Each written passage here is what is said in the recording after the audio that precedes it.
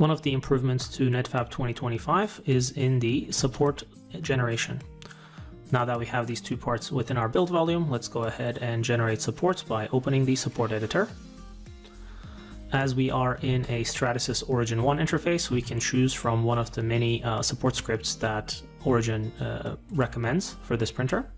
Here we're going to execute a uh, support script that creates uh, multiple actions. As you can see, we have bars on areas, four different ones. And in the past, after generating this support, you had to go to the List tab and select each action to see the outcome of that action.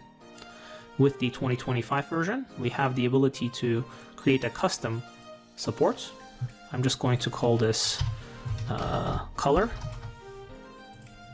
So once you customize a support script, you can now go to the definition of the action and assign unique colors. After selecting the color and pressing pick color, you can now choose uh, a unique color for each action. In this case, I will choose a unique color for two of the actions, save, and execute. The outcome will be unique colors for the outcome of each action. As you can see, we have the blue supports that represents what we did with the first action, and the orange ones that represents what we did with the second one.